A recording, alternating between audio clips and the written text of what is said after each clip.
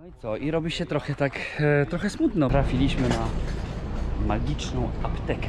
A jeszcze jedna sprawa. Zobaczcie, jak...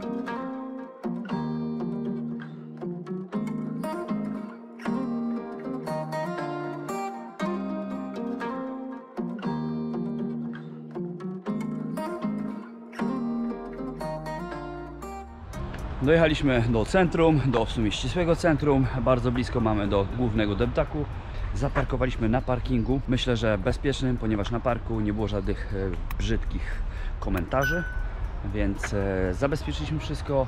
Wiadomo, włożyliśmy do sejfu rzeczy. Zapłaciliśmy za parking 54 korony. Zapłacimy za 3 godziny parkowania w ścisłym centrum. Ale kocur. No fajnie, fajnie wygląda. Oponki szerokie, taki bardzo agresywny. Ten spacer po Malmo organizuje Tomek, więc on tutaj był. Mieszkał 25 lat temu. Tak Tomek? 25 lat temu mieszkałeś tutaj. Tak, tak, No. tak, tak. Także trochę się pewnie pozmieniało, no ale Uda, uważam, że wszystko się zmieniło. Moja No pamięć przede wszystkim.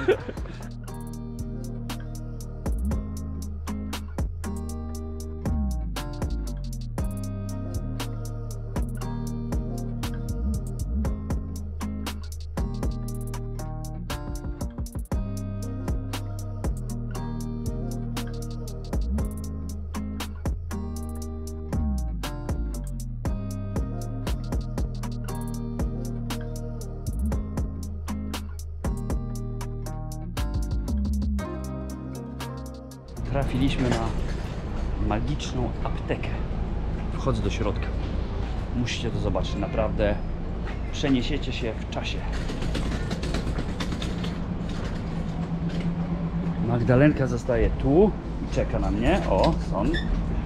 Tu Magdalenka czekaj. Ding dong. Klamki musiałabym obejść wokoło. Maggie tam stoi, no. Zobaczcie, jak to jest pięknie. No niesamowicie jest. Niesamowicie.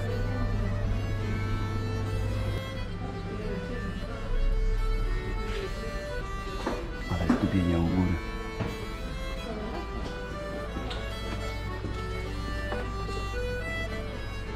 Ale klimacik.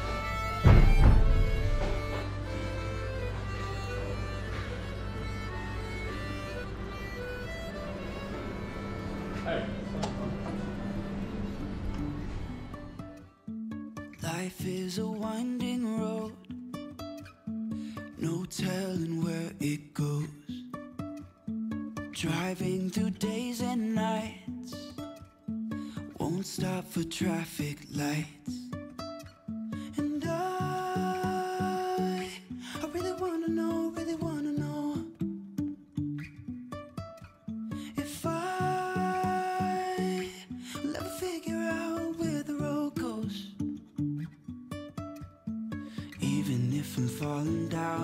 will keep on searching for my highs.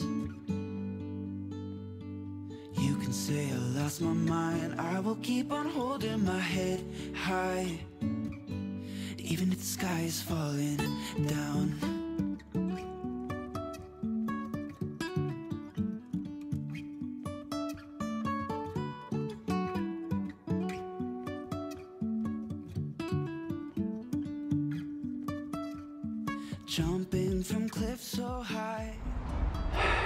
Już wracamy do kamperka. Ciepło się zrobiło. Megi teraz robi sobie mały serwis przed odjazdem w następną miejscówkę. Megi, Megi!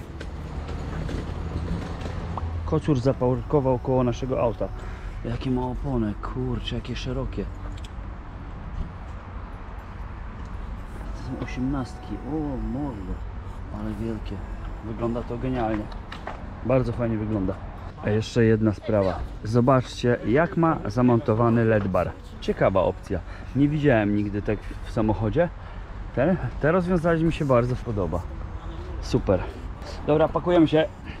Wyjechaliśmy już z Malmę, jesteśmy w Trelleborgu, w sumie w centrum miasta na parkingu. Jutro rano mamy prom, więc dzisiaj robimy sobie zdjęcia pożegnalne, rozmawiamy o całej wyprawie, jak to było, co komu się podobało. No i co? I robi się trochę tak, e, trochę smutno. Mamy następny dzień, dzień wyjazdu, więc już się zbieramy z parkingu i jedziemy na prom. O 8 mamy, o 9 mamy wypłynięcie, więc jesteś, musimy być dwie godziny przed.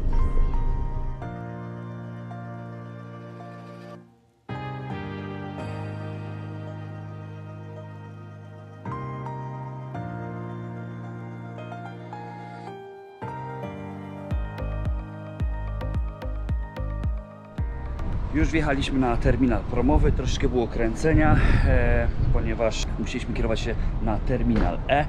Nie jest tak dobrze oznakowany, więc jak będziecie tutaj na Trelleborgu, to tak, na pewno w pierwszej kolejności skanujemy kod kreskowy i później paszporty pasażerów, które, które macie wpisane na bilecie. I trzeba przejechać naprawdę długą drogę, żeby dojechać do, e, do akurat tego terminala E.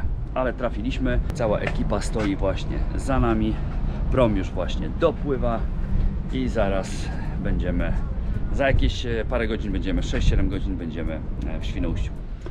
Już zaczynają nas wpuszczać na prom, zobaczcie, taka sytuacja. Samochód nie odpalił komuś, więc współczuję, bo nasz kropek też może nam zrobić psikusa.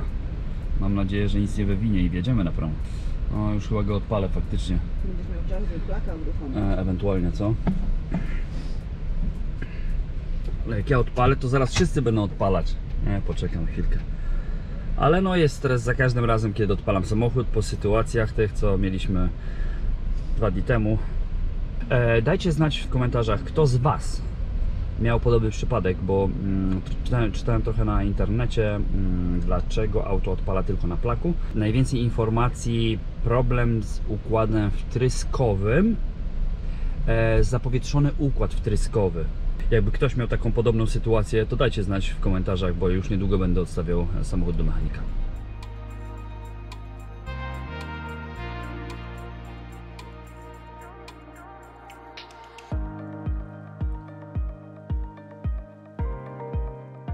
Sorry. Już jesteśmy. Pakujemy się jak najszybciej na dek siódmy, żeby zająć sobie jakieś miejsce do siedzenia. Ponieważ płyniemy dziennym promem, więc nikt nie wykupuje kabiny i wszyscy będą gdzieś tam po pokładach siedzieć. Dobra, ja Aga idę e, z buta. Nie biorę windy tylko dlatego, że dużo ludzi korzysta z windy i wtedy się kursuje góra-dół, góra-dół windą. Lepiej korzystać ze schodów. No ale udało mi się znaleźć jeden duży, więc będziemy tutaj siedzieć cały rejs, podziwiać pięknie morze.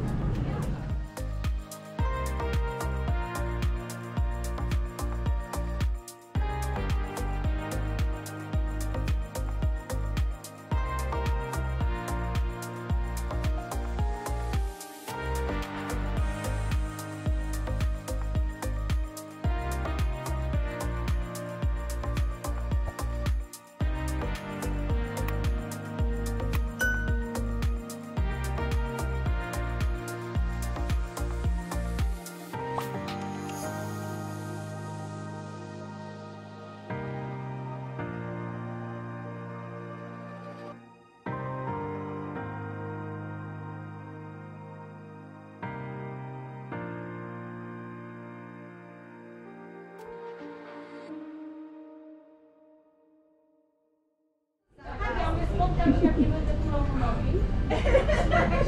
Ale ty, on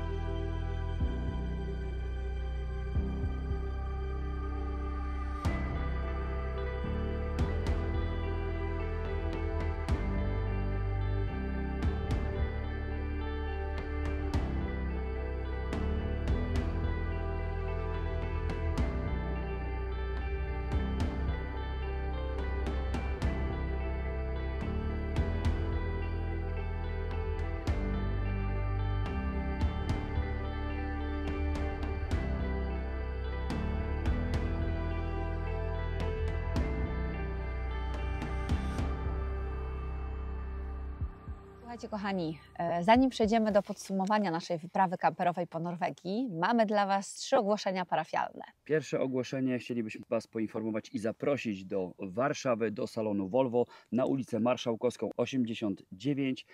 Tam będziemy opowiadać o naszych przygodach, które przeżyliśmy w Norwegii latem, jak i zimą. Pokażemy Wam dużo ciekawych miejsc, o których wcześniej nie mówiliśmy. Słuchajcie, wystarczy wejść na stronę Volvo, zarejestrować się, pobrać darmowy bilet i się spotkać, przybić piątkę, więc serdecznie zapraszamy. Dokładnie, to będzie rewelacyjny wieczór. Drugim ogłoszeniem to jest zaproszenie na targi karawaningowe Camper Caravan Show do Warszawy. I tam e, 29 września do 1 października będziemy na Was czekać my i inni vanlifersi, jak się domyślacie, w strefie vanlife. I słuchajcie, jeśli nie znajdziecie czasu w tych terminach, to zapraszamy Was na kolejne targi karawaningowe, które odbywają się z kolei w Poznaniu. To jest karawan salon i one są w dniach 26-29 października, czyli prawie miesiąc później. I tam również my i prawie wszyscy słynni vanlifersi będą na Was czekać w strefie Więc- vanlife. Więc do zobaczenia. Słuchajcie, musicie tam być. Jak nie w Volvo, to na jednych albo drugich targach. Słuchajcie, no i co? Teraz przejdziemy do podsumowania. Tak jest. Pięknie słoneczko grzeje. Słuchajcie, miejmy nadzieję, że się nie pomylimy w naszych obliczeniach, bo jest naprawdę gorąco. E, Słuchajcie, przejechaliśmy przez 3 tygodnie 3200 km po Skandynawii naszym campervanem, który ma długość 6,5 metra. Teraz przejdźmy do szczegółów, jak to wychodzi finansowo. Znaczy obliczyliśmy około, tak plus minus oczywiście, natomiast wyszło nam, że paliwo wyszło nas około tyś- 1800 zł polskich oczywiście. E, Prom z Świnoujście i Sztat? Świnoujście, Trelleborg? Świnoujście Trelleborg 1560 zł. Gdybyście chcieli zaszaleć i wziąć kabinę, to jest koszt 180 zł dodatkowo. Mm, Mamy dwie noce na jednym kempingu i to są jedyne dwie noce, jakie spaliśmy na kempingu i kosztowało nas to 256 zł. Następnie mm, obliczamy, że promy po Norwegii i drogi, które są płatne, wyszły nas około 1000 złotych. Później mamy internet i tu jest kwestia indywidualna. Średnio nasi wydali około 200 zł za internet. I do tego musimy jeszcze doliczyć zakupy. My wydaliśmy 500 zł na zakupy w Polsce jedzenia, które zabraliśmy ze sobą. I mniej więcej finalnie wychodzi nas 5496 zł, czyli około 5,5 tysiąca złotych. Natomiast czego nie liczyliśmy? Nie liczyliśmy wejściówek do atrakcji, bo to jest bardzo indywidualna sprawa. Nie liczyliśmy pamiątek, suwenirów, ciuchów, no tego co chcecie i na co chcecie sobie pozwolić, będąc w Norwegii. Nie liczyliśmy również dodatkowego ekstra jedzenia, nie wiem, restauracji właśnie, albo po prostu zakupów spożywczych. No i nie liczyliśmy dodatkowych atrakcji, jak na przykład gondole na szczyty gór, nie wiem, płatne mosty, jakieś ekstra wjazdy na szczyty gór. Trudno jest określić, ile to tak naprawdę wyjdzie, bo kwestia jest bardzo indywidualna mm, i do tego jeszcze doliczamy nasz transfer. Myślę, że niewiele pomyliliśmy się w obliczeniach, podając was, Wam poprzednią ofertę na stronie internetowej. Więc to jest mniej więcej wszystko wyszło w tym roku rzędu 10-12 tysięcy złotych maksymalnie, jeżeli zaszalejecie oczywiście. Także to wyszło nas na trzytygodniową wycieczkę kamperem po Norwegii. Nasza wycieczka trwała 3 tygodnie, ale uznaliśmy, że musimy zrobić to w dwa tygodnie, bardziej intensywnie i na pewno wszyscy sobie zorganizują urlop na dwa tygodnie, więc następna wycieczka dwa tygodnie, więc zajrzyjcie na stronę i zobaczcie, jak wyglądają szczegóły. I kto wie, może wystarczy nam tylko jeden kemping. Czyli tak, jeszcze raz podsumujmy. Widzimy się w Volvo, e, widzimy się na dwóch karawaningowych targach, a wszystkie linki do wszystkich informacji znajdziecie pod filmem. Także jak jesteście zainteresowani na przykład biletami do Volvo, wejdźcie w ten link, tam będzie wszystko napisane. Słuchajcie, nas już tutaj słoneczko nieźle praży, więc zapraszamy Was do subskrypcji, do lajkowania, do komentowania. No i co, słuchajcie, organizujcie urlop i jedźcie z nami za rok do Norwegii. Dokładnie, bo było fantastycznie. Niezapomniane wrażenia. Na raja.